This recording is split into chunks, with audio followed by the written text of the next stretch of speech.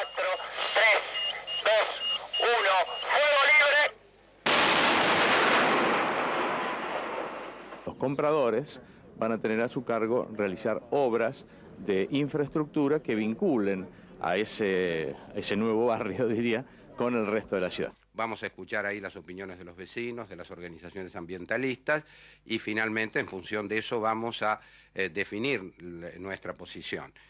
En primer lugar, creemos que es necesario jerarquizar la zona de parque. Nos parece que con el diseño actual del proyecto eh, se privilegia el hipermercado y, eh, y el parque queda relegado sobre las vías del ferrocarril. Nos parece que esto se podría invertir y el parque entonces estaría en beneficio de todos los vecinos de la zona. Creo que, puede eh, ser un pueblo de desarrollo para Tolá y es positivo eso.